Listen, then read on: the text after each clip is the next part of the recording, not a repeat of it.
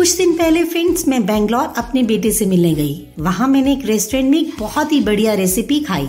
मालूम है कौन सी? खराबात जो खाने में इतनी बढ़िया ओहो हो और बनाने में उतनी ही simple so without wasting any time चलते हैं अपनी रेसिपी की तरफ़। हाय फ्रेंड्स मैं हूँ राधिका। राधिका रेसिपी चैनल में आपका स्वागत है। और अगर आप मेरे चैनल पे नए हैं तो मेरे चैनल को सब्सक्राइब और बेल नोटिफिकेशन ऑल को अनेबल कर लीजिए, ताकि मेरी अपकमिंग जितनी वीडियोस हो, आपके पास उसका नोटिफिकेशन सबसे पहले आए। तो रवा भात बनाने के लिए फ्रेंड्स वैसे तो आप देसी घी भी ले सकते हो वेजिटेबल ऑयल यानी कि कोई भी रिफाइंड ऑयल भी ले सकते हो, लेकिन ऑथेंटिकली वो बनता है मूंगफली के तेल से, ठीक है? इसमें मैं डालूँगी खूब सारा मूंगफली का तेल। अब मूंगफली के तेल से क्या होगा? इसका जो टेस्ट है, बहुत ज़्यादा उठ के आएगा इनहांस होगा। सूजी का उपमा और रवा बात में फ्रेंड्स कुछ कुछ चीज़ों का फ़र्क है। जैसे जैसे हम वीडियो बनाएँगे, आप देखेंगे। ठीक है? तो सबसे पहले मैं इसमें डालूँगी थोड़े से मस्टर्ड सीड्स कुछ बड़े वाले। आप छोटे भी यूज़ कर सकते हो। थोड़े सी मैं इसमें डालूँगी। ये हमारी जो चने की दाल होती है, वो इससे बहुत ही अच्छा क्रंची टेस्ट आता है, ठीक है? गैस का फ्लेम इस टाइम हम स्लो ही रखेंगे। थोड़ी सी मैं इसमें डालूँगी उड़द धुली दाल। इसको हल्का सा हम रोस्ट करेंगे। ये बहुत ही फ़ेमस साउथ इंडियन डिश है। वैसे तो इसको किसी कॉम्बो के साथ खाया जाता है, यानी कि इसके साथ केसरी बात दिया जाता है और पूरी डिश को चौ चौ बात बोला जाता है, ठीक है? जैसे ही हल्की सी रोस्ट हो जाए, मैं इसमें डालूँगी हरी मिर्च, चॉप करके। वो भी आप कम ज़्यादा कर सकते हो। थोड़ा सा हम इसमें डालूँगे काजू, ठीक है? ये मैं टूटे हुए डाल रही हूँ, आप साबुत भी डाल सकते हो। और साथ ही मैं इसमें डाल दूँगी खूब सारे करी पत्ता। इसको फटाफट से हम रोस्ट करेंगे। और वो भी मीडियम टू लो गैस। ये जो काजू का टेस्ट है ना फ्रेंड्स ये रवा भात में बहुत ही बढ़िया आता है आप स्किप भी कर सकते हो, लेकिन अगर टिपिकली आपको साउथ इंडियन डिश खानी है तो आपको ये ज़रूर डालना पड़ेगा। ठीक है? बहुत ज़्यादा उनको डार्क ब्राउन नहीं करना, हल्का सा। और साथ ही मैं इसमें डाल दूँगी हमारे कांदा। इसको भी हमने हल्का सा ट्रांसपेरेंट रहने देना है मतलब ब्राउन कलर नहीं करना। अदरवाइज़ जो रवा बात एंड में जो हमारी डिश का आउटपुट है ना, वो बहुत ही ज़्यादा डार्क कलर का निकलेगा। ठीक है?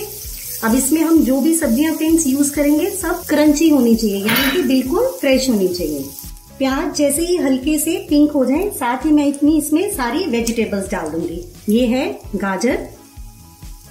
थोड़ी सी मैं इसमें डालूँगी फ्रेंच बीन्स और थोड़े से मटर। अब इसको फटाफट से हम दो मिनट तक स्लो गैस तक रोस्ट करेंगे।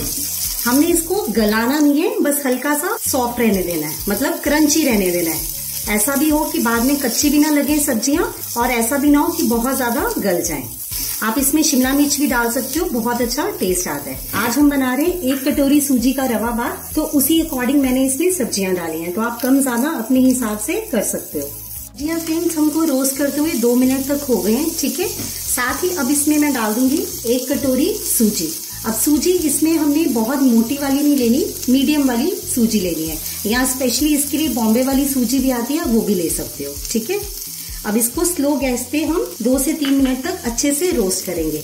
अगर आपके पास रोस्टेड सूजी है तो आप वो भी ले सकते हो, फिर उसको रोस्ट करने की ज़रूरत नहीं है। लेकिन ये मेरी रोस्टेड नहीं है तो इसलिए मैं इसको तीन चार मिनट तक स्लो गैस पे रोस्ट करूँगी। गैस का फ्लेम बिल्कुल भी हाई नहीं होना चाहिए।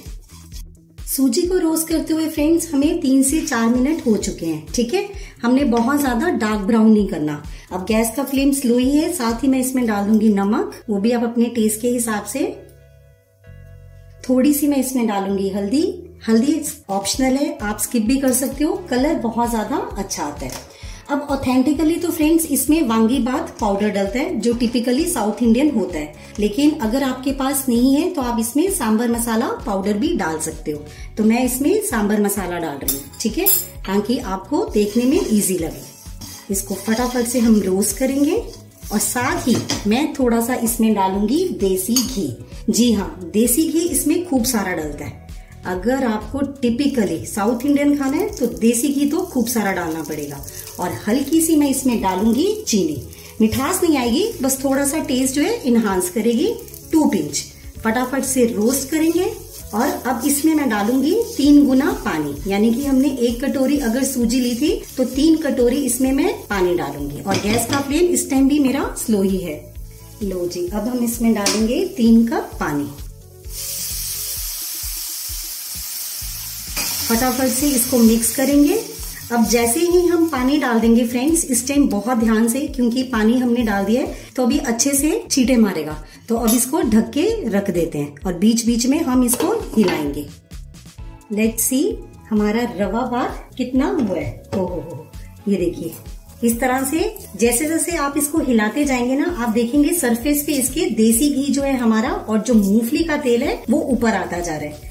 पता है, सूजी का उपमा और रवा बात में फ़र्क क्या होता है? इसमें देसी घी या फिर मूंगफली का तेल बहुत ज़्यादा डलता है। मतलब बहुत ज़्यादा ये ऑयली होता है। तो अगर आप बहुत ज़्यादा कैलोरी कॉन्शियस हो तो आप कम कर सकते हो। लेकिन अगर आपको टिपिकली साउथ इंडियन खाना है तो आपको मेरे हिसाब से ये बनाना पड़ेगा। ठीक है? अब इसको दो तीन मिनट तक अच्छे से हम पकाएँगे। और थोड़ा सा देसी घी एंड में मैं इसमें और डालूँगी इसके टेस्ट को बढ़ाने के लिए। अब आप कहोगे, आप देसी घी तो बहुत ज़्यादा डाल रहे हो, लेकिन इसी से तो हमारा रवा भात का टेस्ट जो है उभर के आएगा। ये देखिए, इसको खाओ गर्मा गर्म और साथ में हो कोकोनट की पतली पतली सी चटनी, और जो ऑलरेडी मैं अपने चैनल पे बहुत ज़्यादा सिखा चुकी हूँ, ठीक है, दो तरह की। अब बाद में मैं इसमें डालूँगी फ्रेश नारियल, ठीक है, कद्दूकस किया हुआ। ये हम ऊपर से डाल देंगे। ये भी आप स्किप कर सकते हो, लेकिन अगर आपको बिल्कुल साउथ इंडियन टेस्ट चाहिए तो ये आपको डालना पड़ेगा। और खूब सारा ऊपर से धनिया। इसी से जो टेस्ट जो है, रवा भात का बहुत ज़्यादा बढ़िया आएगा। अब इसको फटाफट से हम मिक्स करेंगे और गर्मा गर्म सर्व करेंगे। और खाने वाले घर वालों को खिलाएँगे और उनको बोलेंगे, हम कर्नाटका की ये फ़ेमस डिश हमने बनाई है। और किसी को बताने की ज़रूरत ही नहीं कि हमने इसमें क्या क्या डाला है। ये देखिए। ओहो क्या टेस्ट आ रहा है, मैं आपको बता नहीं सकती। और एंड में मैं इसमें डालूँगी थोड़ा सा नींबू।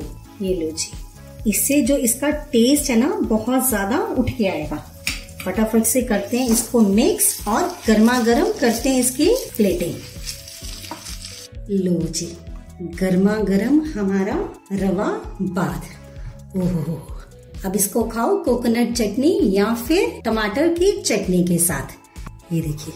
कितना माउथ वाटरिंग कितना टेम्पटिंग है। ओहो सी देसी घी और पीनट ऑयल से भरा हुआ। सो so फ्रेंड्स आपको ये मेरी रेसिपी कैसी लगी? नीचे कमेंट सेक्शन पे ज़रूर बताइएगा और मेरे चैनल को सब्सक्राइब और शेयर करना मत भूलिएगा।